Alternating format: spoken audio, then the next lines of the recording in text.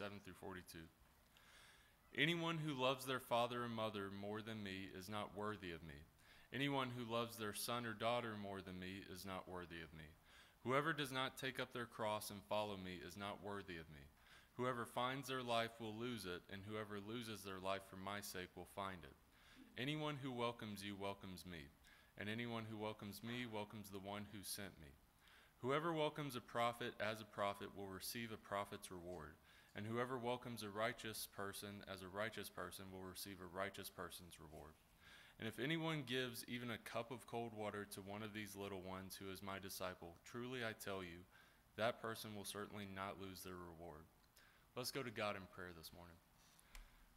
Heavenly Father, I thank you for letting us gather here today, Lord, and, and fellowship together and worship your name, Lord. I pray that we, we all do so with a heart that is, is truly wanting to glorify your name through through song as well as through the lesson that we'll have today, Lord, and we'll be able to go out from here today and apply that lesson in our daily lives.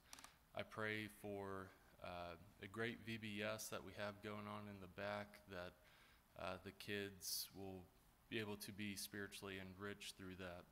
I pray all this in your name. Amen.